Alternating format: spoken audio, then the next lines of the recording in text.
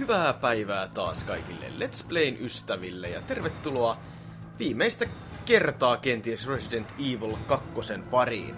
Nimittäin tällä kertaa olisi tarkoitus mennä äh, Leon B-skenaario ihan läpi asti sen verran pitkälle päästiin tuossa edellisessä osiossa. Ja tämän äh, arskamaisen Resident Evil 2 äh, äännähdyksen saattelemanna palaamme tänne, mikä tämä nyt ikinä onkaan tämmönen ihme, ihme hissivaunu alueelle. Ja ja, Eida on seurassamme. Heitetään inkripponit takaisin laatikkoon ja, ja katsotaan mitä tuleman pitää.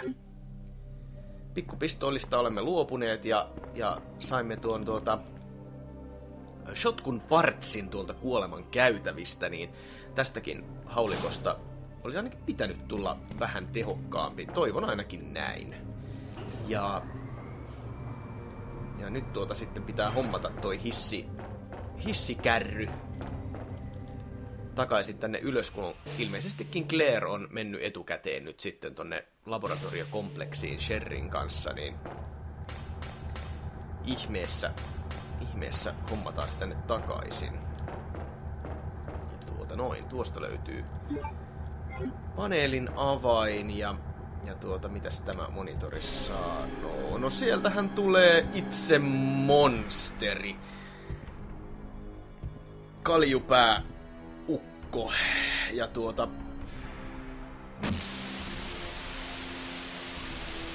Joo.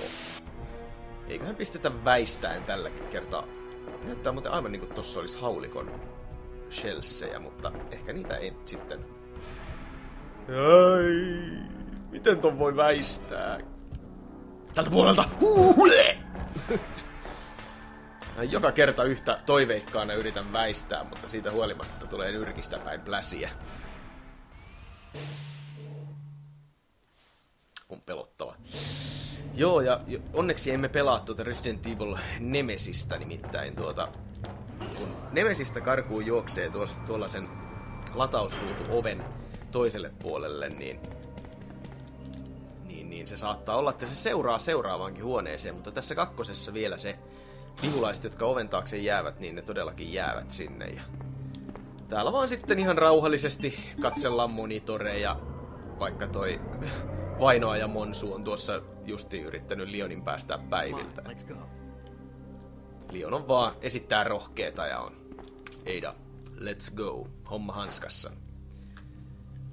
Vaikka Vaino ja Monsu voisi olla kolkuttelemassa tässä oven takana. Mutta tuota... Joo, Claire on tosiaan mennyt etukäteen, koska täällä on jo tää avain valmiina täällä paneelissa. Ja voi, voi hyvinkin olla, että, että tosiaan se meidän bossitaistelu oli jo siinä edellisessä, siinä köysirata, köysiratasysteemissä, niin nyt sitten saamme ajella tämän, tämän hissi reissun ihan rauhassa.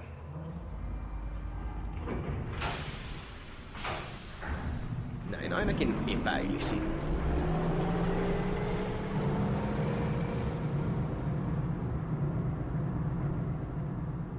Labra-kompleksiin. Öö... Jaha, sieltä, sieltä Williammi... Ada! Ada! Can you hear me? Come on, snap out of it! Ei kyllä on niin parhaita repliikkejä oikeasti Lionilla. Silleen, että seinän läpi tulee tuota, tommonen piikkikäsi ja viiltää kaverin niin kuin henki hieveriin, niin hän on vaan sitten, että snap out of it! Et älä, älä nyt esitä. kyllä, kyllä, kyllä se siitä. Okei. Okay. Eli siis täältä nyt tuli kumminkin vissiin joku bossitaistelu. Olikohan nyt sitten näin? Ja kyllä. William on huonossa hapessa, kun Claire, hän, Claire on häntä, häntä ammuskellut täällä Mitäs asetta me käytimmekään silloin viimeksi?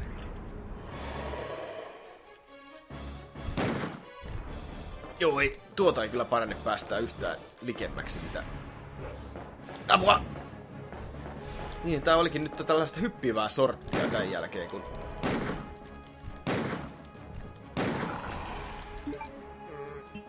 Joo, kyllä meillä paut riittää. Vieläkö?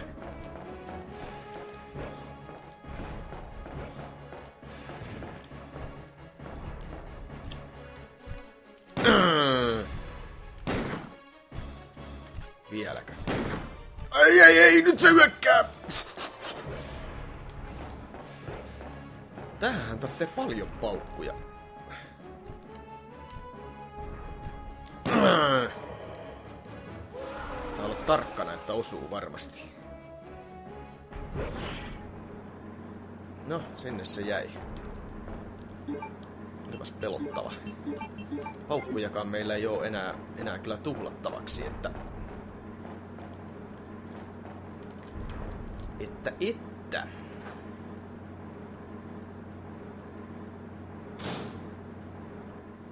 Eida, snap out of it!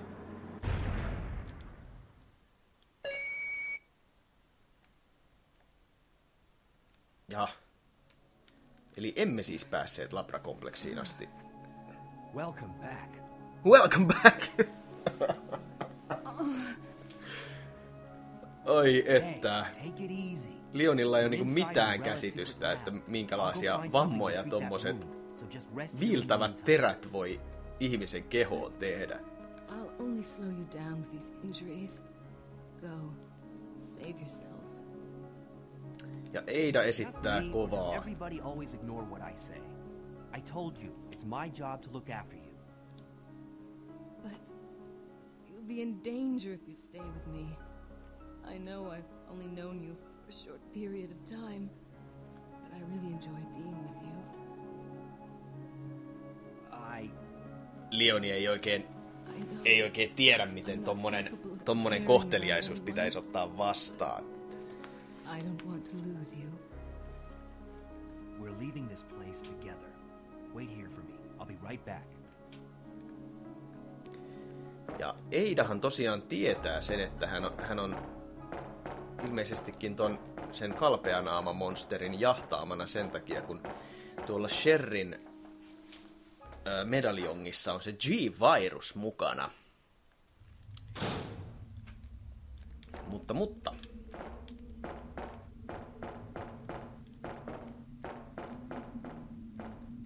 Täältä, täältä sitä taidetaan päästä päästä seuraavaan paikkaan. Ilmastointikanavan kautta. Joo, ja tämä taitaakin olla itse asiassa semmonen osio, mihin Clairin kanssa ei päästy käymään. Tää on ihan tämmönen Lion eksklusiivi, ja, ja sinne meni sitten toi meidän hissi, hissiauto ihan menojansa. No, eipähän tarvi jäädä odottelemaan ketään NPCtä enää, että nyt hoidetaan homma kotiin.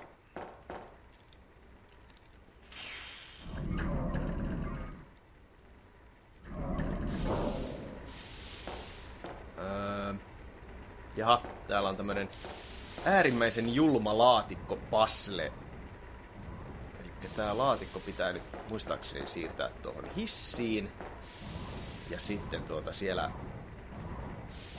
alakerrassa sitten vielä johonkin uuteen paikkaan. Ja, ja tämän saattaa hyvinkin olla, että tämän voi työntää, työntää semmoiseen paikkaan, mistä sä et saa sitä enää liikutettua. Niin, niin.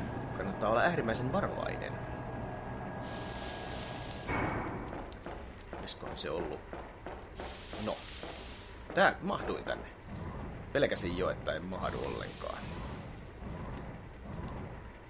Öö, olisikohan se ollut tonne, kun se piti työntää. Ja toivotaan nyt, että, että se on nyt tää oikein. Olisi ää- äärimmäisen ärsyttävää ruveta työntelemään sitä uudestaan. Nimittäin jos tämä ryssii, niin sitten täytyy käydä tuolla edellisessä huoneessa ja, ja sitten tulla uudestaan työntelemään. Niin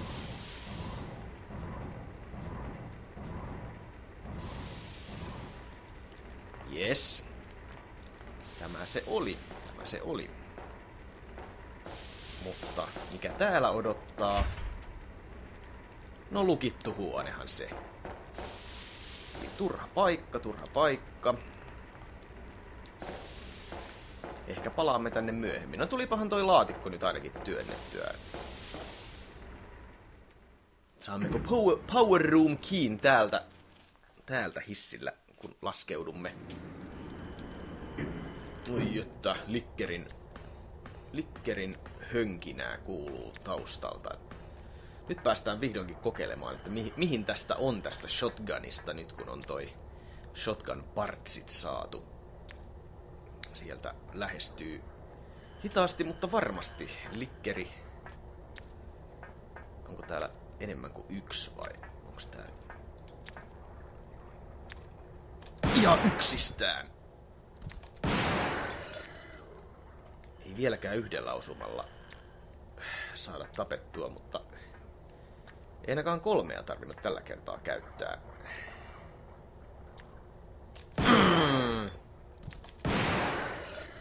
Yes, taitaa nyt ruveta kuolemaan kahdesta osumasta noi likkerit nyt sitten. Täällä on joku paneeli, mitä tää tekee. Elevaattorin liikkeelle laittaa.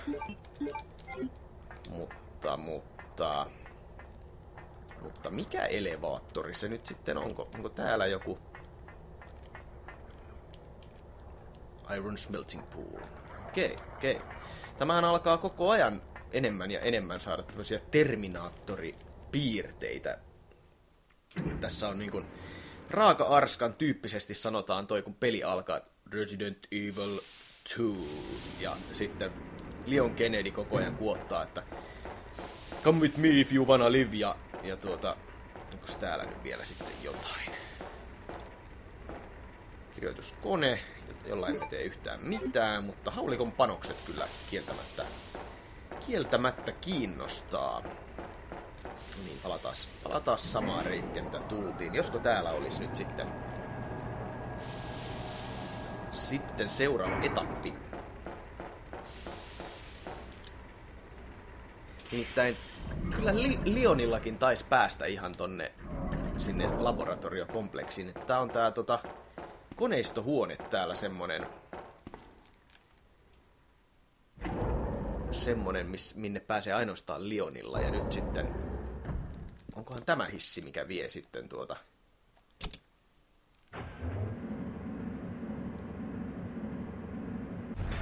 sinne laboratoriokompleksiin.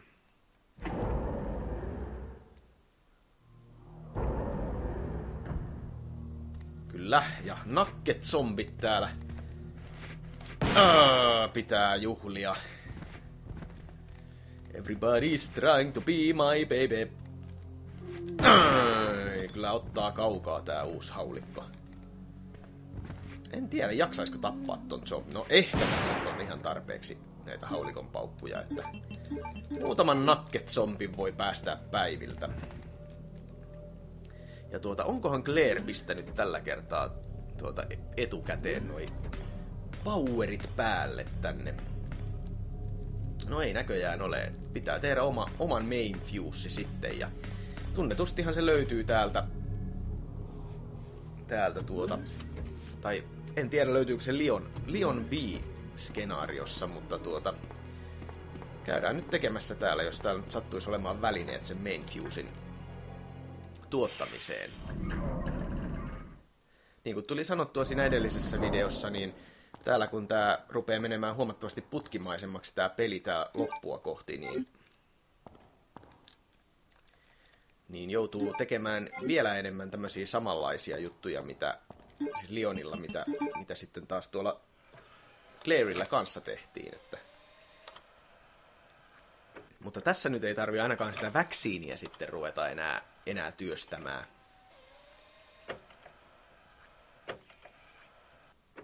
Mutta tuota, rupes huolestuttamaan, että kun ei ole mitään, mitään tuota, kun en tiedä, on, onko täällä niitä kasvivihollisia nyt sitten Lionin, Lionin tapettavana, kun ne on vähän semmosia, että ne ei oikein, ne ei oikein ole moksiskaan näistä tavallisista aseista. Että pitäisi olla mieluummin, mieluummin jo, jo, joku flame roundseja tai acid roundseja, mutta Leonihan ei tunnetusti niitä saa.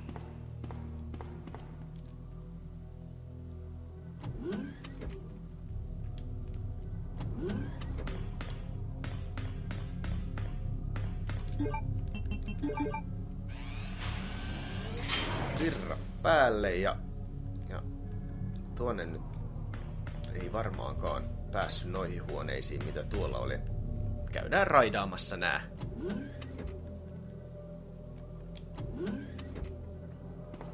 Nämä huoneet täältä nyt sitten.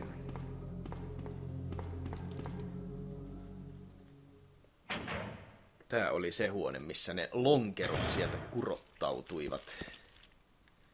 Joo. Täältä löytyy avainkortti, kyllä, kyllä. Ja täältä sai POW sprinklerit päälle, oliko näin? Jaha, se on, se on siis jo tehty. Ui, mikäs siellä? Taas tosta yksi tommonen ja otetaan flamethrower käyttöön. Nyt kun perään kuulutin sitä, sitä tuota liekkiaseita, niin, niin, niin nyt, nyt on nyt on millä mällätä. Nimittäin, jos käy samalla lailla kuin Clairillä, niin tämän oven takaa, takaa paljastuu ilikeitä, ilikeitä kasvivihollisia, ja sehän on... Mm.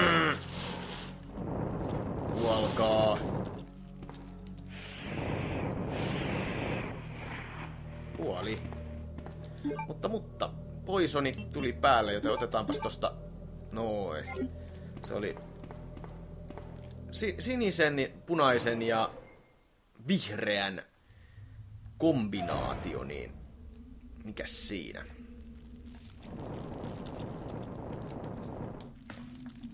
Otetaan täältä sitten palan painikkeeksi pikkusen herppiä mukaan ja se on kyllä kieltämättä, että nyt kun on, on sekä haulikkoa että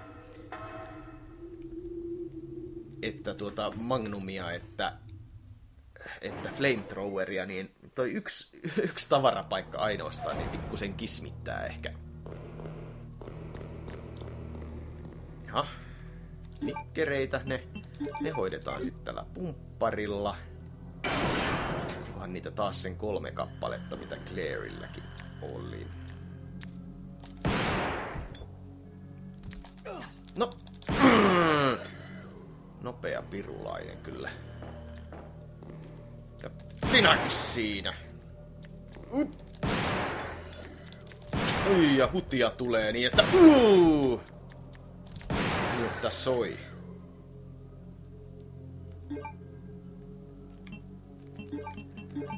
No, ei, ei näy nyt ihan heti lopu kesken kuin.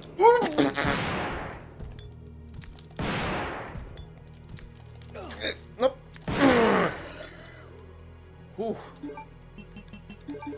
Otetaan varmuuden vuoksi yksi tommonen ja täältä sitten tilalle uusi.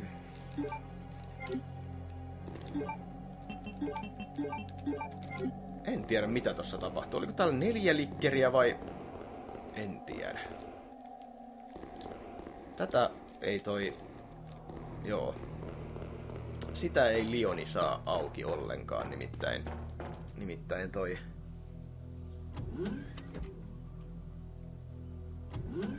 Mo-diskiä ei, ei hän pysty löytää ollenkaan, niin tossa ei sitten siitä asiasta mainita edes mitään.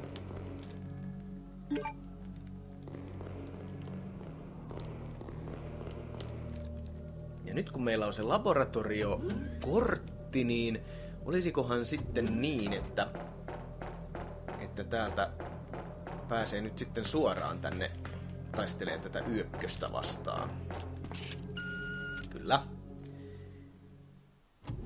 Tää taisi olla semmonen bossi, joka pitää tappaa kummallakin Lionilla että Clairillä. Yökköseni.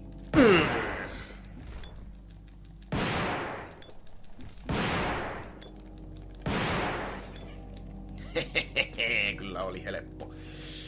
Ja tekis siinä maan matoset. Laitetaan fingerprintit tänne ja guest.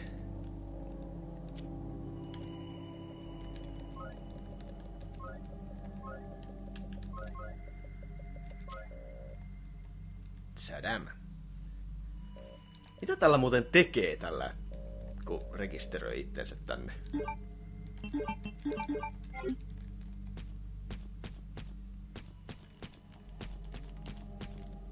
No, tulipahan tehtyä.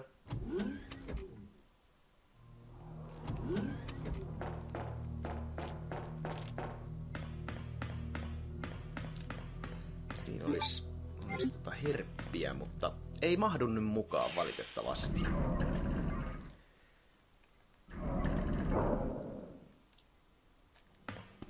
Saiskohan tän auki Lionilla? Ei vissiin. Pitää olla special kind of key. Voisikohan toi olla yksi niistä tuota... Pois tieltä. Jaha. No, seuraavat nakket zombit.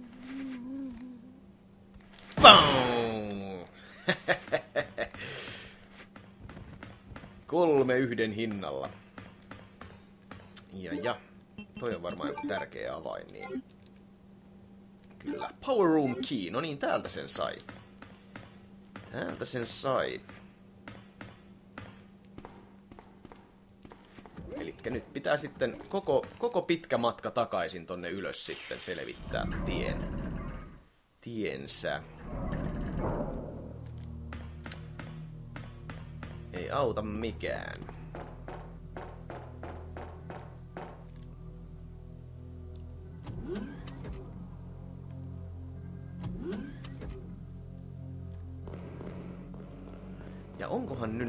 Että, että sinne on tullut niitä kasveja lisää sinne?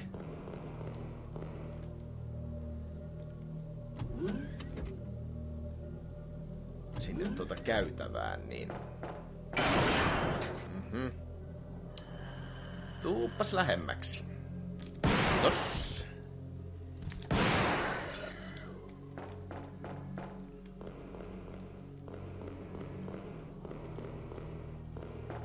Ainakin Clairilla oli sillä lailla, että kun oli tappanut ne ensimmäiset, ensimmäiset kasvimonsut täältä, niin sitten ne, niitä tuli sitten lisää.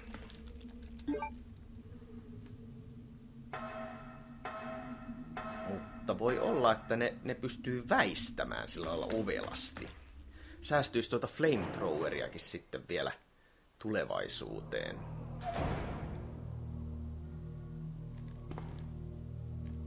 Kyllä siellä. Taitaa olla. No niin, oliko pakko?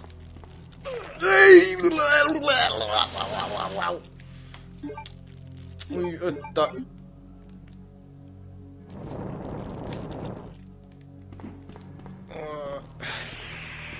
Käydään hakemassa täältä nopeasti vähän sinistä... Sinistä herppiä ja... Öö, Oh. Taitaa, taitaa olla toi poisoni suhteellisen tuommoista hitaasti vaikuttavaa, niin ei ainakaan sille nyt ollut vielä aihetta semmoiseen hä- hätään ja ahdinkoon, mutta toi on toi poisoni ärsyttävä niin kuin statusailementti kyllä. Harmi, kun tää ei oo... Ei, no kyllä se ylsi tonne.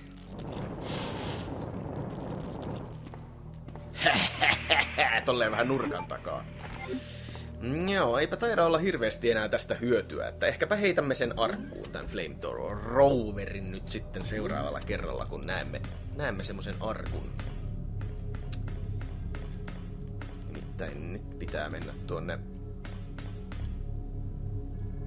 tuota... Joo, takaisin sinne Power Roomiin.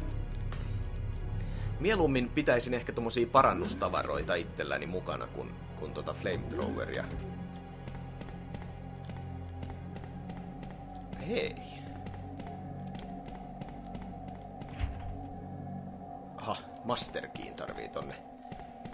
Nimittäin, jos tää uh, timeline menee yhtään sillä lailla, mitä, mitä tuota, ajattelen, niin toi Sherry, Sherry on tällä hetkellä tuolla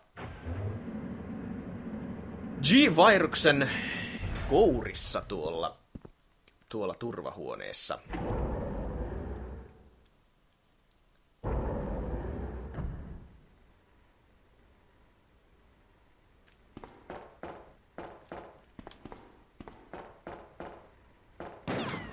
Jaha.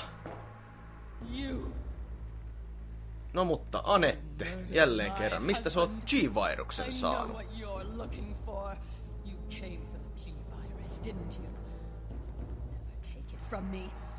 No, tulee my samat litaniat, mitä legacy. Clairille siellä laboratoriossa silloin siinä ekassa skenaariossa. Where's that spy you were working with earlier? You know who I'm talking about. What? You really don't. Onko noita G-viruksia sitten enemmänkin, että, että Anetella on yksi ja sitten Eidalla on yksi siellä, siellä tota medaljonkissa, että edelleenkin kannattaisi varmaan pelata ne, ne tuota. Code Veronicat ja, ja it's tuota Ressu neloset nimittäin. Tietäis vähän enemmän tästä tarinasta. Joka tapauksessa Eida taitaa olla, olla vakoja, jonka, jonka tehtävänä on napata toi G-virus takaisin. Ja Leonihan ei sitä tietenkään usko, kun on, on tuota sitten hieman, hieman lääpällään tähän kyseiseen henkilöön.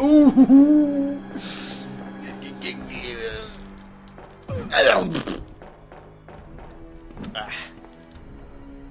No niin, eli yhden kerran on ainoastaan päässyt tota monsteria karkuun. Niin, että ei ole osunut.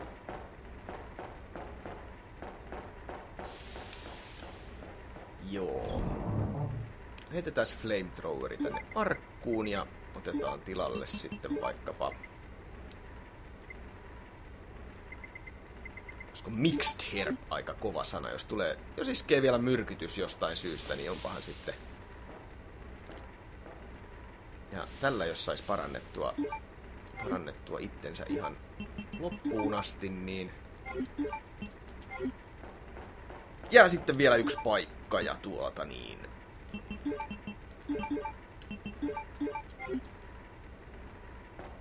Niin edespäin.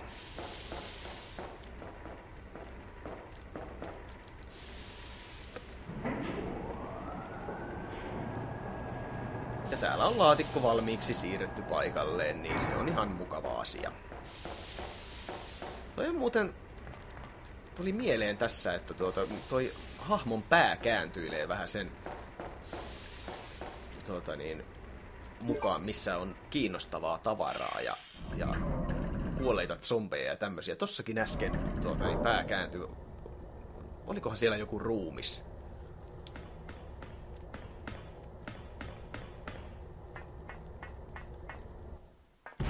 Ja, no niin. Lopullinen showdown. Kilit. Ja, Run! no, Eida on päässyt takaisin elävien kirjoihin ja, ja nyt sitten jostakin syystä tuota... Tässä vaiheessa hän ei, hän ei nyt sitten juokse pois ollenkaan, vaan pistää kova kovaa vastaan, Tyranttia vastaan. Ja, vai, vai mikä toi nyt ikinä olikaan toi monsteri. Tyrantti se taisi olla muuten, nyt kun, nyt kun tarkemmin ajattelen. Nimittäin, koska se tippuu tonne, tonne laavaan, niin se nousee sieltä silleen semmoiset valtaisat sapelit kynsinään. Niin samanlainen kuin mikä ykkösessä oli se Tyrantti jo, mutta sillä oli vaan yhdessä kädessä ne valtavat sapelit. We're a team. I can't just leave you behind. Kaikesta ollaan Eida sun kanssa selvitty, mutta nyt taitaa olla loppu lähellä.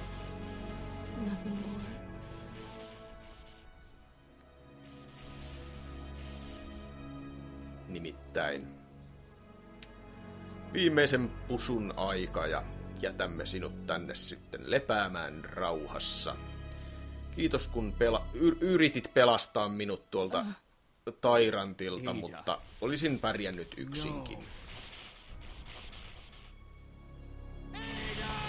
Eida! Paljon miehekkäämpi huuto kuin mitä olisi ollut, jos olisi pelannut tota, Leon Ei-versiota, missä nimittäin tota, oliko se niin, että toi Eida tippuu johonkin rotkoon ja, ja sit siitä kuuluu vaan tommonen Eida!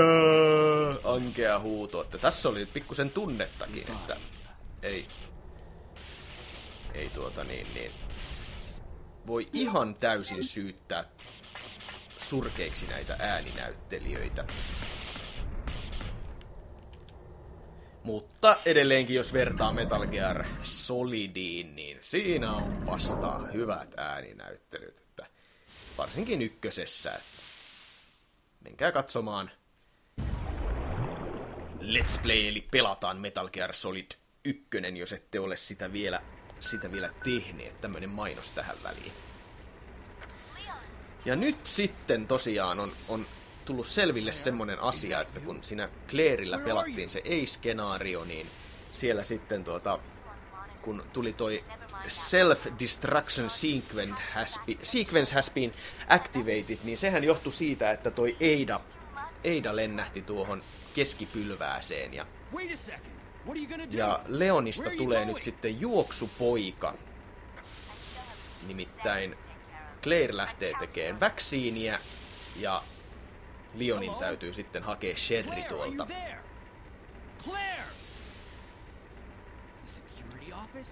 Sieltä Security Officeista, nyt kun se Master Key löytyi tuolta. Ja tyhjin käsin jätkä juoksentelee. Ei, ei järkevää.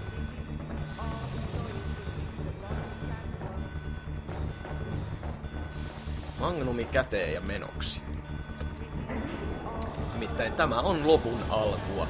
Kuten, kuten tiedätte, Claire hyppäsi sinne emergency-junaan siellä bottom platformilla siinä edellisessä skenaariossa siinä vaiheessa, kun Lioni, Lioni oli siellä jo Sherryn kanssa, niin, niin tämä koko ajan menee kohti sitä tilannetta.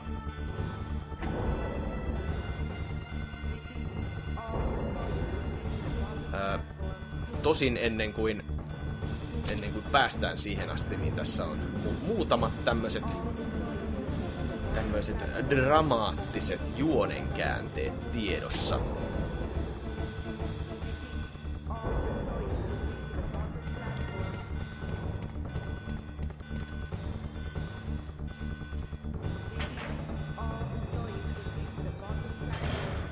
Mutta täällä Sherry on tosiaan makoilemassa ja käydäänpäs hänet täältä nappaamassa turvaan, niin sitten seuraava, seuraava Inferno onkin meillä saada toi juna, juna käynnistymään ja että päästäis poiskin täältä jossain vaiheessa täältä labrasta.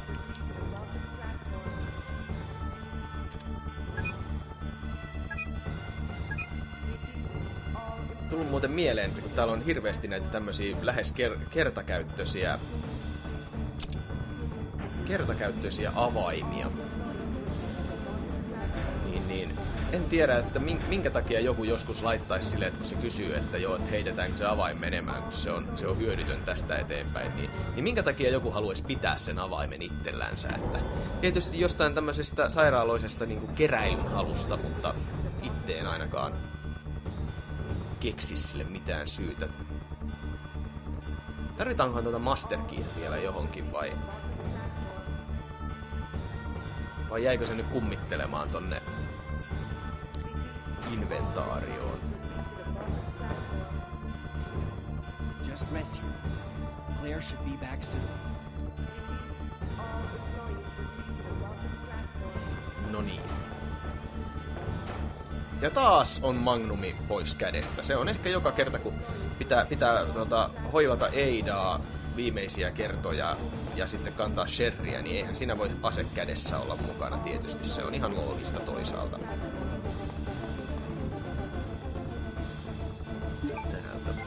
Platform key ja nyt heivataan kaikki turhat tätä Umbrella Lab, Lab Card Keyta olisi ehkä pitänyt jonnekin käyttää, mutta nyt sen aika on varmaan mennyt. Aika on varmaan mennyt. Ehkä me pidämme noin shotgun cellsit tuolla kuitenkin. Otetaan mieluummin vaikka vaikka first aid spray mukaan. Nyt tulee, tulee paljon vauhtia ja vaarallisia tilanteita tuolla tulevaisuudessa, niin parasta olla hy- hyvissä, hyvissä heloissa.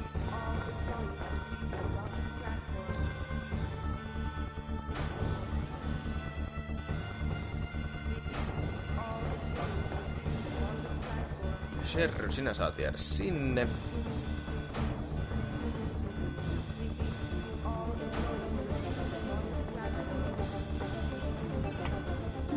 Taas oli yksi, yksi turha avain. Sen Master Key hävisi tuolta valikosta mystisesti, eli sitä ei olisi voinut vissiin säilyttää, vaikka olisi halunnut.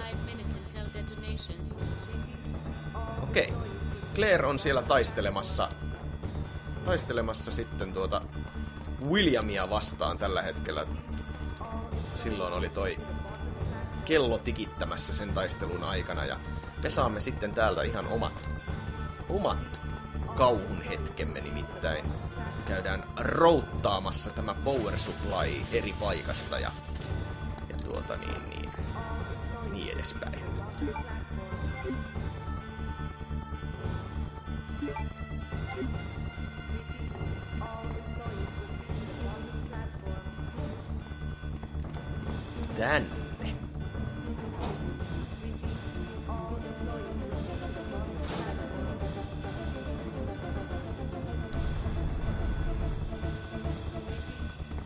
Jyrinää kuuluu.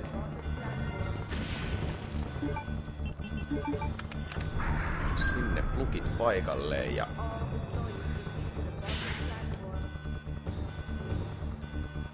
Kukas se sieltä saapuu, ellei itse Tairantti. Nimittäin muistin aivan oikein tästä valkonaamasta tuli nyt sitten loppujen lopuksi tämmönen Monsu jotain Pitää yrittää täällä sitten väistellä nimittäin. Vähän niin kuin tuossa Ressu ykkösessäkin, niin tätä ei voi mitenkään päihittää vielä tässä ihan alkajaisiksi tätä, tätä Tairanttia, että sun pitää väistellä aikasi aikasi ja tuota, toi on suhteellisen nopea niinku ressun monstereiden mittapuulla toi Tairantti, mutta se on si- siinä mielessä heikko, että se, se ei kestä muuta kuin sitten kun saadaan oikeat aseet vaan käyttöön, niin se ei kyllä kestä ai- aivan hirveästi. Aivan, aivan hirveästi. Hui hirveetä. Siinähän meni melkein henki jo. Ai, ei kestä kurmootusta aivan kammottavasti. Someone save me.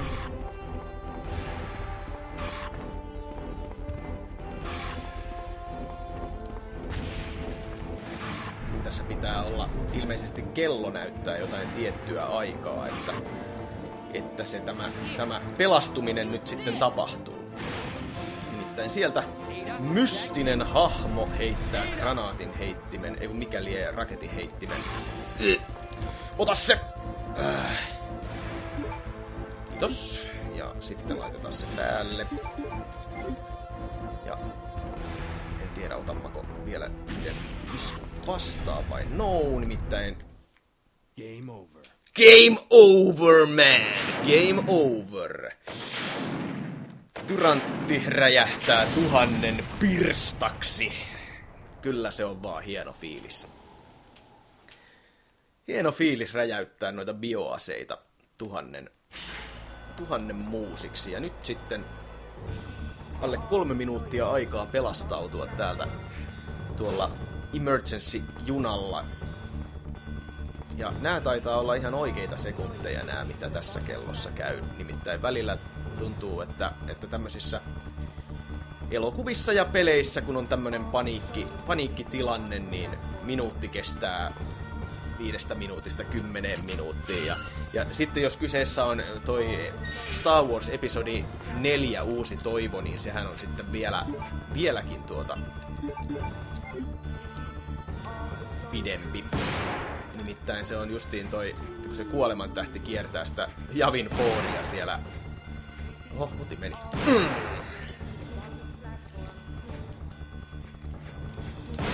Niin siinä aina, aina sanotaan, että kuinka, kuinka kauan on aikaa siihen, että... Että se kuolemantähti on ampumisetäisyydellä, niin...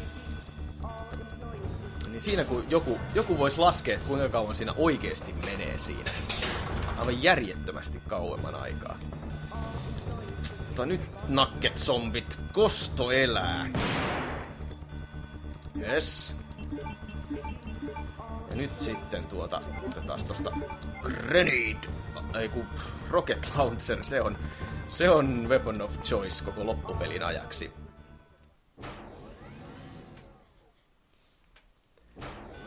Ei muuta kuin juna käyntiin.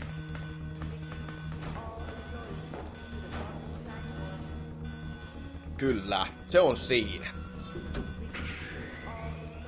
Ja näin pääsemme siihen kohtaan, siihen kohtaan, missä, missä tuota Claire's, Claire A-skenaariossakin olimme jo, eli koko perhe lähtee sitten pako, pakomatkalle tuolla emergency trainillä. Ja... Mutta ensin pitää hoitaa Sherry parempaan happeen nimittäin. Hän on siellä G-viruksen kourissa ja ja tuota... en, en tiedä, että annetaanko toi niin kuin per os suun kautta vai, vai tuota intravenosis suonen sisäisesti. Mitään ruiskua en ainakaan näe missään vaiheessa tässä välikuvassa. Ja, ja Leon on ihan pihalla. Se on, se on niin kuin, että hei, Claire, mitä tässä nyt oikein tapahtuu? Where am I? It worked! Oh, Sherry, you're gonna be okay. Kennedy, Leon Kennedy oli muuten se nimi. En muistanut edellisen osan alussa, että mikä se Leonin, Leonin sukunimi oli, niin Kennedyhän se oli. Dead Kennedy. It's finally over. Ja Claire on jälleen kerran. Ei. Veli pitää löytää. Goodbye, Ada. Mutta se olikin false ending, niin kuin nyt kauhu, kauhu-elokuvissa sun muissa yleensä on. Ikinä ei monsteri ole lopullisesti tapettu. Nimittäin. Nimittäin täällä kohta selviää, että tämä juna on kontaminoitunut. Täältä kun avaamme ovet.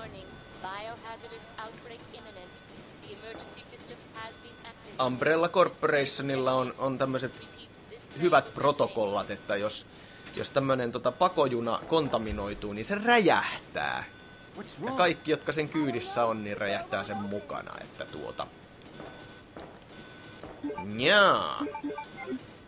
Osaatte varmaan odottaa jo tästä, kun rupean varustautumaan, että, että tämä junanvaunu ei ole suinkaan tyhjillään.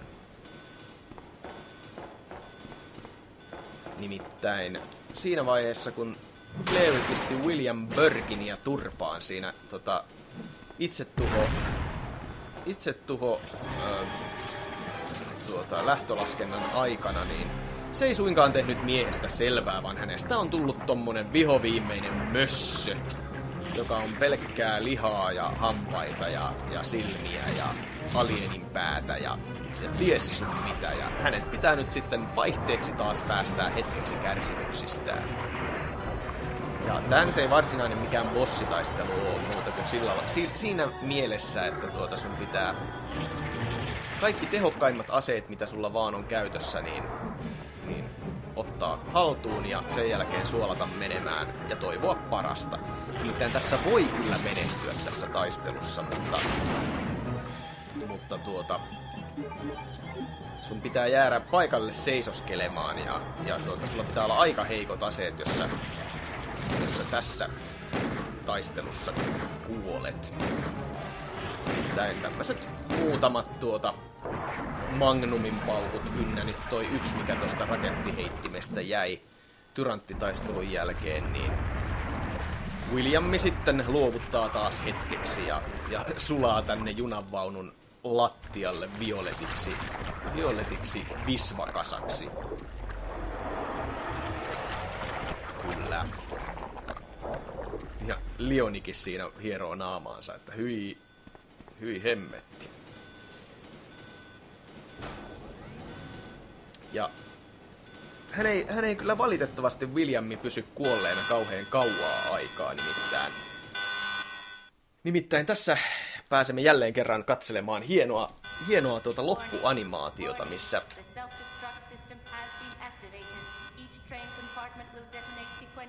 missä tuota selviää, että juna tosiaan räjähtää tuolla niin yksi vaunu kerrallaan. Ja, tuota niin, sieltähän se William jo entistä ehompana, entistä ehompana tulee pyrkii sisään ja ja tuota niin, niin en oikein tiedä mikä toi G-viruksen toimintamekanismi on. Varmaankin se, se on vähän samantyyppinen kuin Dragon Ballissa toi, toi Super Saiyalainen, että mitä, mitä huonompaa happeen sä joudut taistelussa, niin sitä ehompana sä nouset, nouset sitten seuraavaan päivään, kunhan parannut. Uho ainakin piisaa Clairillä, tommonen talonkokoinen liha, lihamöykky hampaineen kaikkineen syöksyy kimppuun ja hän on vaan, että joo, tuu, tuu hakee vaan. Leon! Push the switch over there! Got it! Ja kuinka sattuikaan sopivasti ollaan täällä ihan, ihan tunnelin loppupäässä nyt sitten ja päästään pakenemaan paikalta.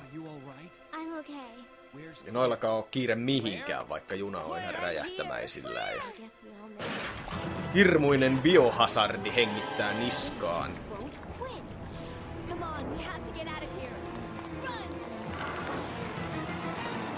Tää oli aina nuoruudessa hieno kohta, kun tuota niin, tuli toi sama silmä, mikä tuossa oli tuossa valikossa, niin saimme vihdoinkin tietää, että, että se tosiaan kuului tälle William Burkin Monsulle toi silmä. So, it's finally over. No niin, Clairekin vihdoinkin myöntää, että se on vihdoin ohi. Ja tällä kertaa Leon on sitten se henkilö, joka palauttaa maan pinnalle. Että no niin, meillä on töitä tehtävänä. Etkö sä us? ittekin sanonut niin? Go? Where? Hey, it's up to us to take out Umbrella. Ehkä juustoisin loppu ikinä. Oh, It's up to us to take care of Umbrella. Ja viimeisen päälle sieltä tulee sitten sähkökitara, sähkökitaran revittelyä Ressu kakkosen lopullisen päihittämisen kunniaksi. Tosiaan tämä oli tämä B-skenaario huomattavasti lyhempi. Oliko se sen takia sitten, että oli toi noitten sen poliisiaseman ja, ja noitten muiden alueiden infrastruktuuri paremmin tuolla pääkopassa sen edellisen pelaamiskerran sen A-skenaarion jälkeen vai, vai onko se oikeasti lyhempi, oliko helpommassa paikassa tavarat, sitä en tiedä. Vielä tässä olisi, jos, jos, jos haluaisi, niin voisi pelata sen siinä järjestyksessä, että, että ensin Leonilla ja sen jälkeen Clairillä, niin sai, tulisi vielä, vielä erilaiset skenaariot. Eida tippuisi, tai Eida, Eida menehtyisi eri lailla ja, ja tota niin, olisikohan se jopa sillä lailla, että toi Sherry, Sherry ei myrkyty ollenkaan siinä skenaariossa. En muista tarkasti, mutta siis vaikka tämä on niinku verrattain lyhyt peli, tämä Resident Evil niinku per skenaario, niin kyllä tässä on aika paljon uudelleen pelaamisarvoa, kun neljällä eri tavalla sä pystyt tämän pelata läpi. Että vaikka key itemit löytyykin samoilta paikoilta, niin sitten kaikki muut on ihan, ihan eri, eri tuota, puolilla sitä poliisiasemaa ja niin päin pois.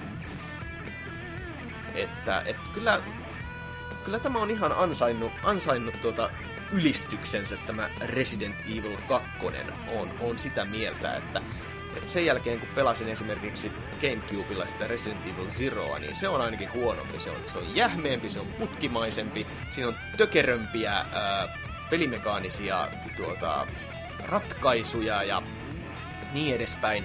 Tästä olisi hyvä siirtyä sitten tota Code Veronicaan ja Ressu neloseen, vitoseen ja kutoseen ja tuonne tota Revelationsiin, kun sen, sen tuota omistan tuolle Wii kanssa.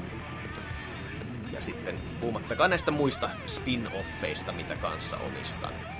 Mutta minä minä kiitän kaikkia seuraamisesta. Ajattelin, että Resident Evil 2 Let's Play, eli pelataan, olisi nyt tuota niin, niin tällä erää nyt sitten tässä. Ja siirtyisimme sitten seuraavalla kerralla jo, jo, jo tuota seuraavaan peliin. Toivottavasti viihdyitte. Tälläkin kertaa saimme valitettavasti vain ranking B, että tuota, pitäisiköhän tämä peli pelata niin alta kahden tunnin, että saisi sen A-rankingin. Nimittäin kun sen parhaan rankingin saa, niin muistaakseni saa sitten jotain tuota, ö, uusia asusteita näille hahmoille ja, ja joo. Okei, eli sieltä tuli palkinnoksi tämmönen rocket launcheri sitten. Onkohan tässä loputtomat paukutkin vielä? Pitää katsoa jostain netistä, että, että mikä toi on toi rankingi tossa, että miten voi saada paremman tuloksen, mutta kyllä toikin kelpaa.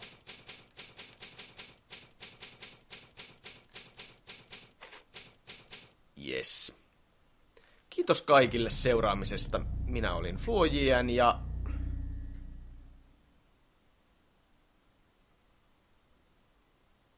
You can play another scenario if you make a new save data. Okei, okay, okei. Okay. Ai niin, tässähän oli myös Fourth Survivor, nimittäin hankki. Hankki, ja sitten taisi olla viitonen, viitonen myös, nimittäin toi Tofu.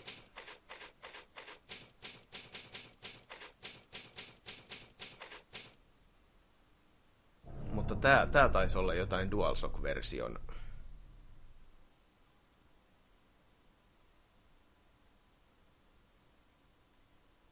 Aha. Ja t- tuolta zombilta taas saa sitten sen eri, erityisen tuota erityisavaimen, jolla saa sitten sen uuden asun Clairille tai Lionille. No niin, tässähän tuli vaikka mitä kaikkea bonusta ja uudelleen arvoa, kun siitä nyt oli kerran puhetta. Kyllä se on Ressu, Ressu Evil 2, kyllä on hieno, hieno ja hyvä peli. Ja, ja tuota, paljon, paljon vastinetta rahalle. Mutta tällä kertaa se on tässä. Jälleen kerran sanon sen. Ja seuraavalla kerralla sitten seuraava uusi Let's Play pelitiedossa. Ei muuta kuin siihen asti näkemiin.